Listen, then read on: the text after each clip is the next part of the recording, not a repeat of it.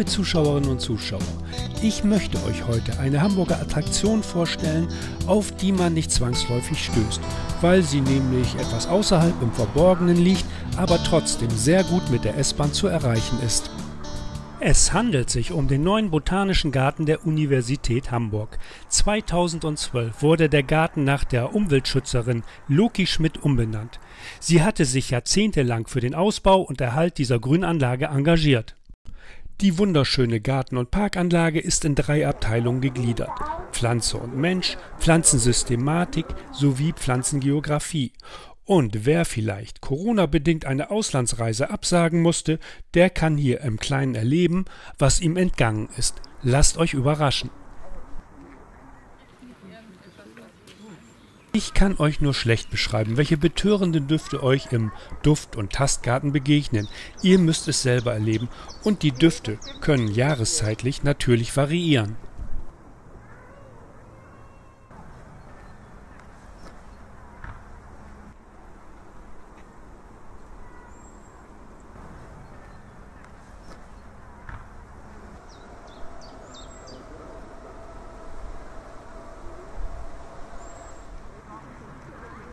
Insbesondere viele Großstadtbewohnerinnen und Bewohner wissen kaum noch, wie unsere Nutzpflanzen aussehen.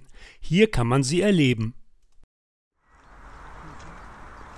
Auch viele Giftpflanzen gehören dazu und es gibt mehr davon, als man denkt. Das Café Palme hat leider noch geschlossen. Hier kann man normalerweise sehr schön sitzen und es finden auch Veranstaltungen statt.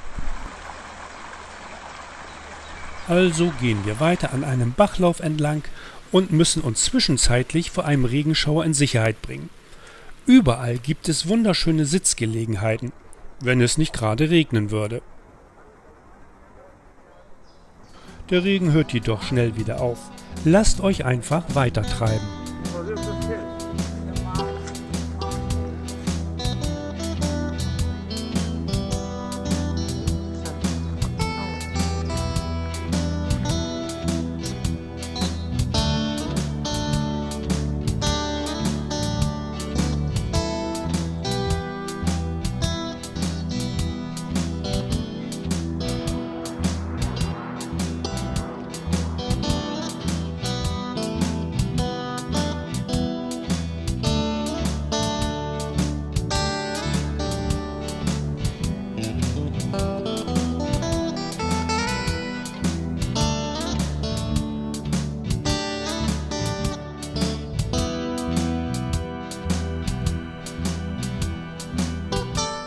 Es gibt viele kleine Nebenpfade, über die man auf Entdeckertour gehen kann.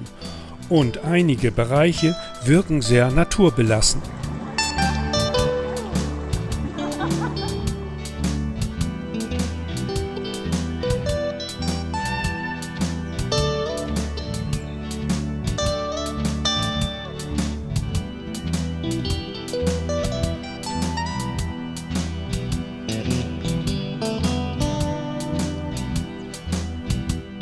Ja, und das gibt's nur im Loki-Schmidt-Garten.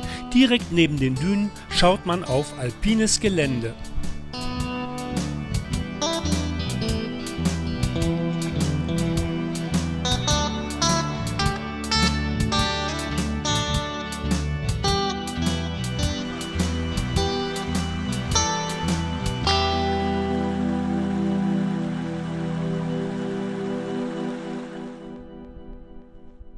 Im Zentrum der Gartenanlage befindet sich ein kleiner Pavillon. Um den herum im Uhrzeigersinn verschiedene Sektoren mit Pflanzensystematiken angeordnet sind.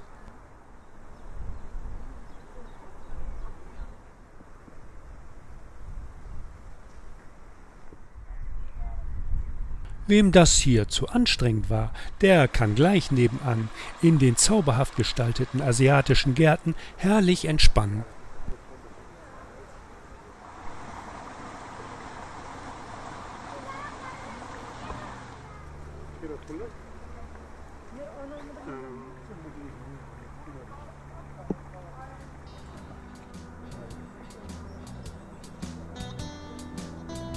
Und dann sind wir auch schon in Nordamerika. Und wer will, kann unter Mammutbäumen eine Pause einlegen.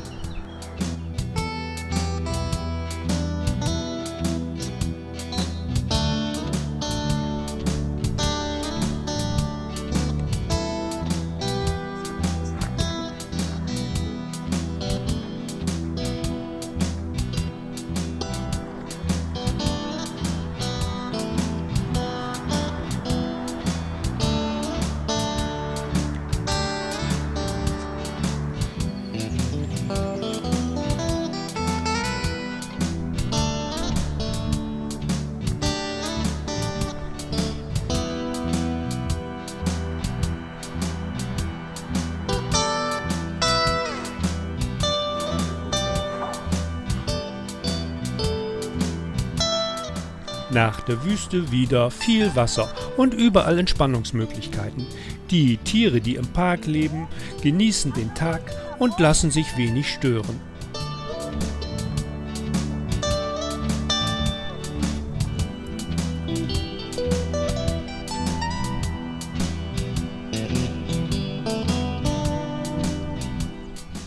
Zum Schluss gehen wir durch den imposanten Bambusgarten. Und hier erfahren wir, dass Bambus nicht gleich Bambus ist. Zu unterschiedlich sind die Arten.